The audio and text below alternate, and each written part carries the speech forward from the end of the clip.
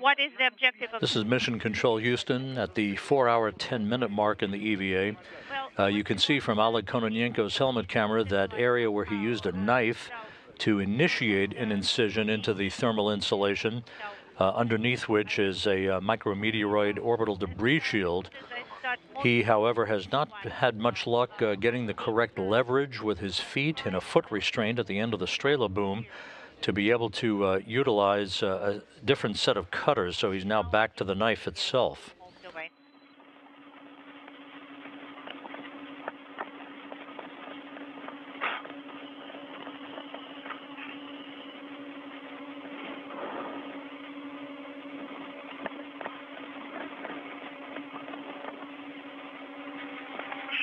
так, Олег, поосторожнее, не... Oleg, be careful. Don't be uh, so harsh on that. I understand that understand that it is hard for you, but please try to be calm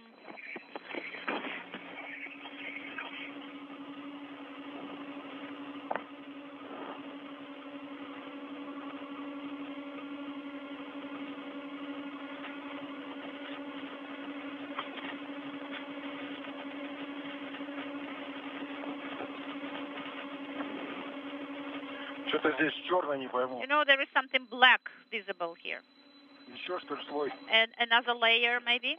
На дорогу был Твердый слой. Uh, is it hard? слой. Надо There is another layer, so I have to go a little bit Два deeper. пакета, Я напоминаю, сперва один с броней, второй Yes, there are точно такой же, но без two layers. One of them hardened, uh, and the other is not so hard.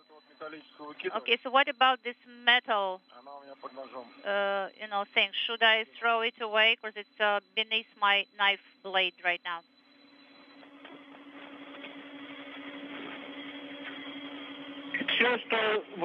This, by the way, is deja vu to a certain extent from July 10th, 2008, when Kononenko and Sergei Volkov uh, used cutting tools and knives to uh, uh, pushed away. cut away insulation over pyrotechnic bolts, uh, the separation mechanisms for module separation that they inspected on their Soyuz TMA 12 spacecraft.